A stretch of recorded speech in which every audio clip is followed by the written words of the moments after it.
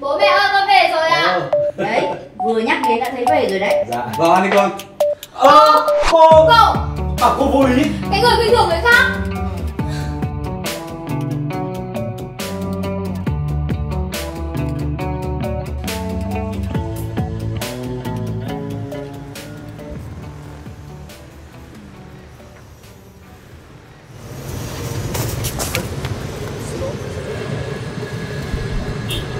cô đây.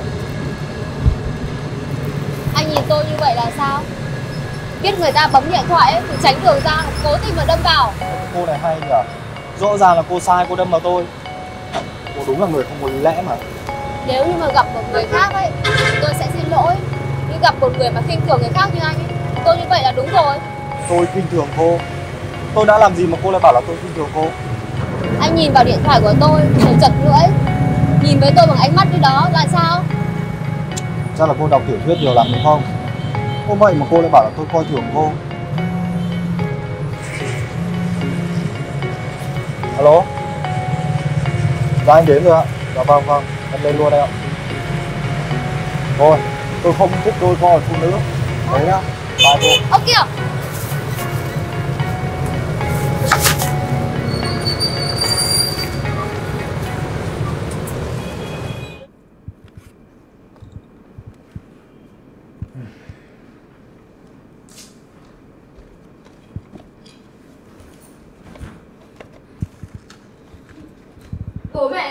thích ạ.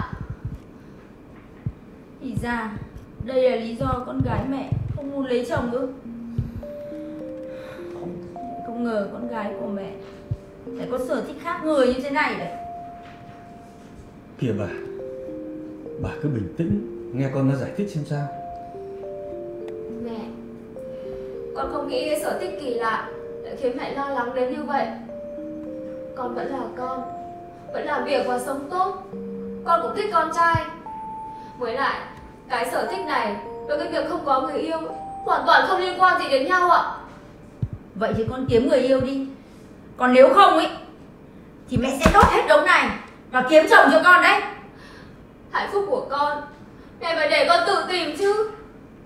Mới lại Muốn có người yêu Thì phải từ từ tìm hiểu thì mới có được. Chứ có phải muốn có là có được đâu. Không nói nhiều Mẹ cho con một tuần để kiếm người yêu. Còn nếu không ấy Tự mẹ sẽ kiếm chồng cho con đấy. Mẹ! Con nhớ chưa?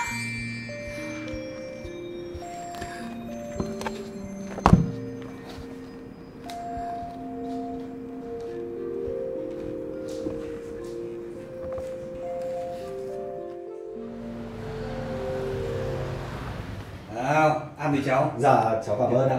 Ăn đi Phương nó cũng sắp về rồi đấy. Dạ vâng ạ. Bố mẹ ơi con về rồi ạ. Ờ, Đấy Vừa nhắc đến đã thấy về rồi đấy. Dạ. Vâng ăn đi con. Ơ cô. Cậu à cô vô ý Cái người khinh thường người khác. Ờ Thế hóa ra hai đứa biết nhau từ trước à? Dạ vâng ạ.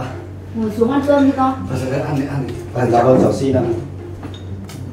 Đây là Hưng Con của cô bạn thân mẹ. Dạ Ít hơn con 3 tuổi.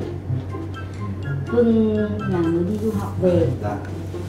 Được cái đẹp trai, cao giáo, thông minh. Và quan trọng nhất là chưa có người yêu. Dạ. Còn đây là Phương, dạ. con gái của bác. Xinh đẹp giỏi giang như bác vậy. Vâng Được cái là Phương rất là thông minh, chăm chỉ Làm tốt tất cả công việc nhà cũng như việc công ty cháu ạ. Dạ vâng ạ ăn đi bà. Dạ, ăn đi. Dạ vâng ạ. Bà cô già là có sở thích khác người như vậy. Ai mà đừng nổi. Bảo sao mà bây giờ cũng nằm kho.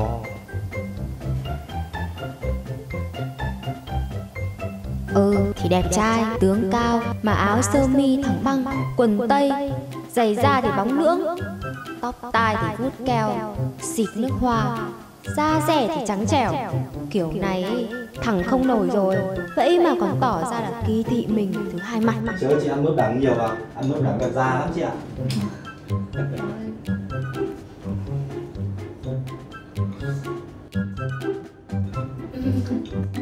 Ba được ngon quá.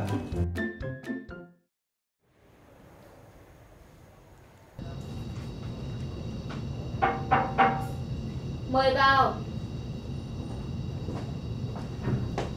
Dạ em chào chị ạ. Ơ, sao cậu lại ở đây? Dạ em được bác giới thiệu là công ty của mình đã tuyển người Và em đã ứng tuyển vào đỗ Rất mong được chị giúp đỡ. Chúc cậu làm việc thật tốt nhá. Dạ em cảm ơn chị ạ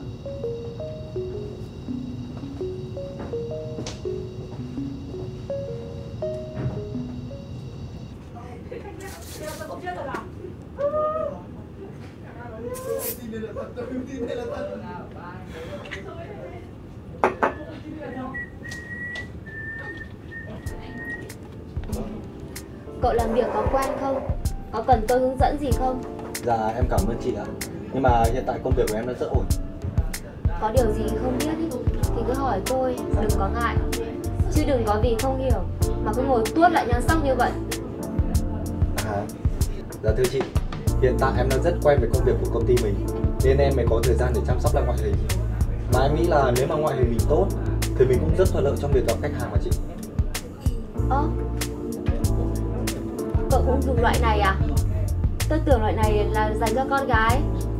Thảo nào Da cậu đẹp như da con gái vậy. Chắc là nhiều khách hàng nam thích lắm nhở? Công ty mình nhiều điều hòa máy lạnh mà chị. Nên là da nó dễ bị khô. À mà chị Phương này Em biết là hai bên gia đình nhà mình đang muốn gán ghép em với chị. Nhưng mà em xin phép nói thẳng luôn Em không thích con gái lớn tuổi hơn. Và em cũng không thích một người có sở thích kỳ lạ như chị. Xin lỗi cậu. Cậu có vẻ ảo tưởng về nhan sắc của cậu rồi đấy.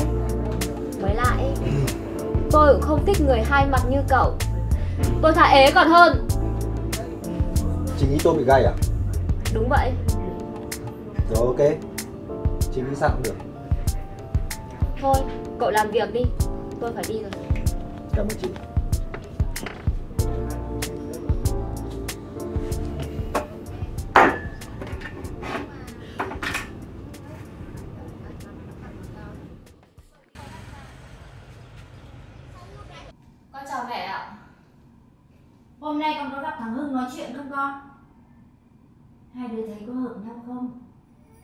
Con không đời nào thích cái tên bắt mũi chưa sạch đâu.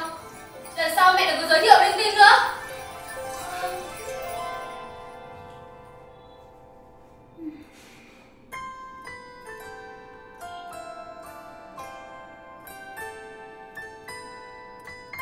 Bà thông gia tương lai đấy à? Tôi nghĩ mình phải chuyển sang kế hoạch B thôi bà. Vậy mình tổ chức cho tụi nhỏ đi du lịch một chuyến nhé Đi đâu thì tôi sẽ tính sau. Tôi tin chắc Cái này sẽ hiệu quả bạn.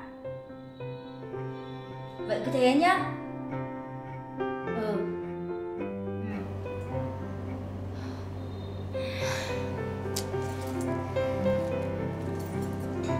Alo. Sáng mai cậu đến công ty sớm. Tôi có chuyện muốn nói với cậu. Ừ, thế nhá.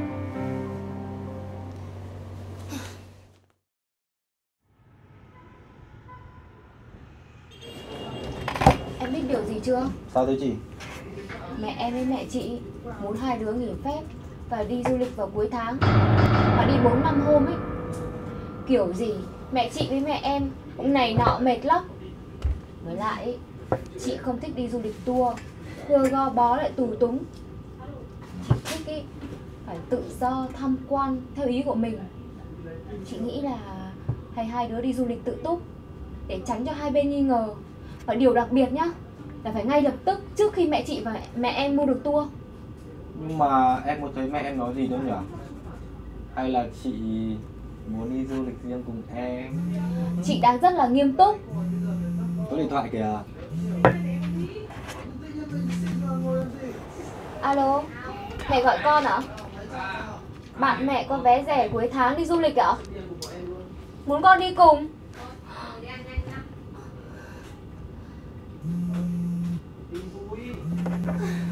Sao mẹ em lại gọi bây giờ nhỉ? Alo con nghe ạ Bạn mẹ có vé đi tour rẻ vào cuối tháng á Sao hả? Mẹ mà có nghỉ làm để đi á?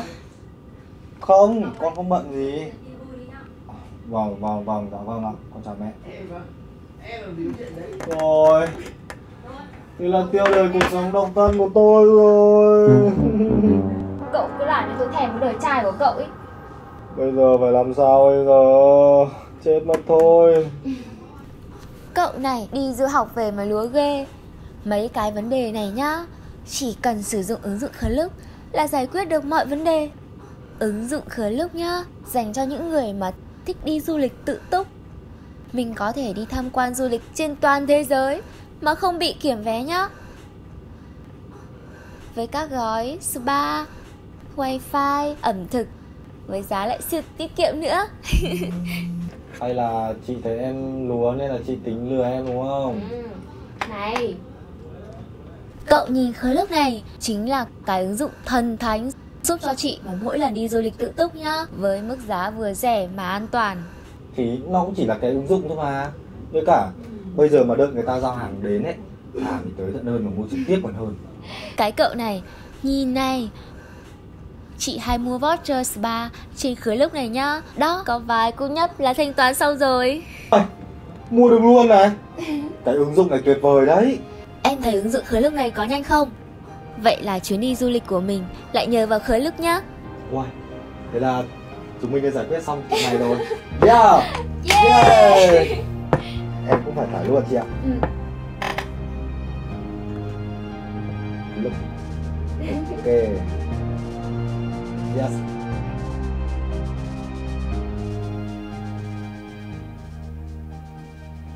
Dạ, con xin phép hai bác cho con với cả chị Phương là đi du lịch cùng nhau ạ. Con với Hưng định đi du lịch tự túc Vì hai đứa không sắp xếp được thời gian đi cùng với gia đình ạ Dạ. Đi tự túc có an toàn không? Đi tour vẫn tốt hơn chứ Được người ta lo cho từ A đến Z Con với Hưng lớn rồi mà bố Với lại tụi con sử dụng ứng dụng Klook Nên đảm bảo sẽ an toàn và tiết kiệm Có nhiều thời gian tự do hơn là đi tour ạ.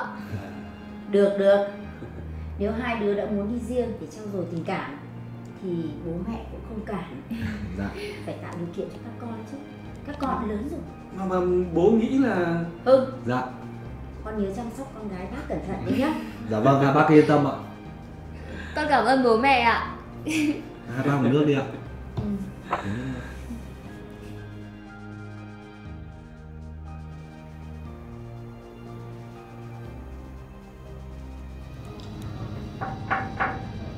Mời vào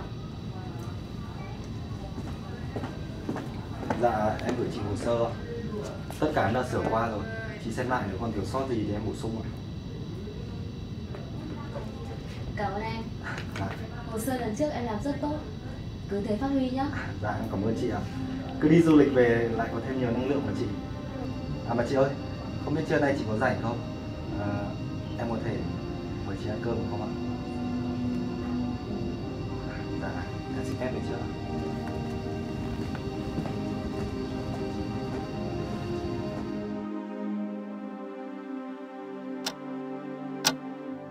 Qua người rồi Qua người. Sốt Úi giời ơi Lại bắn chim rồi. Tiếc thế. Hai ba con ăn hoa quả đi này. Dạ. Con gái Sau chuyến đi du lịch Hai đứa đã yêu nhau chưa? Ừm, Mẹ hỏi kỳ quá Con không trả lời đâu. Thế con có thích thằng bé không? Giời ơi! Lại bắn chim. Thôi con vào phòng đấy. Bố mẹ ngồi nghỉ ngơi ạ. Chả thế. Ông ăn hoa quả đi. Bàn đi.